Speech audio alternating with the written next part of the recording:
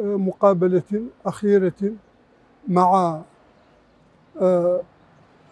مع تلفزة المرابطين.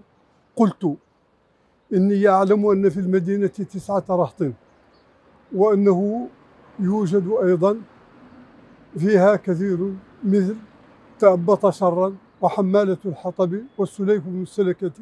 لكني أعلم أيضا وأتمنى وأرجو أن يكون فيها رشداء أن يكون فيها عقلاء يجنبون موريتانيا ما نخشى أن نقع فيه اليوم. لم لم أكن أعتقد ولن أستطيع أن أتصور أن يجري ما جرى اليوم في هذه الظروف الدولية الصعبة والوطنية الصعبة.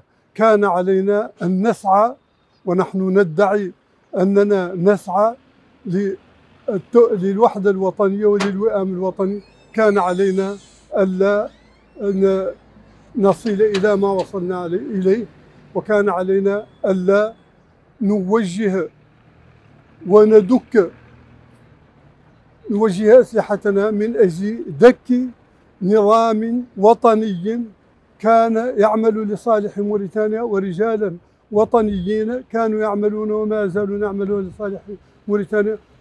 ونترك الأرض فراغا للمفسدين وللمخربين.